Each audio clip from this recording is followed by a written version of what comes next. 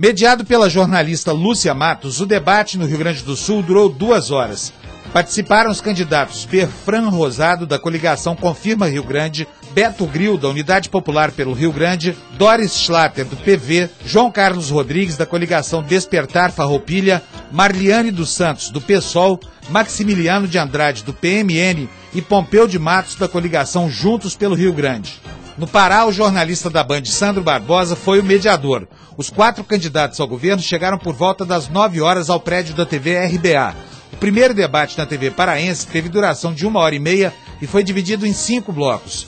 Participaram os candidatos Ana Júlia Carepa, do PT, Domingos Juvenil, do PMDB, Fernando Carneiro, do PSOL e Simão Jatene, do PSDB.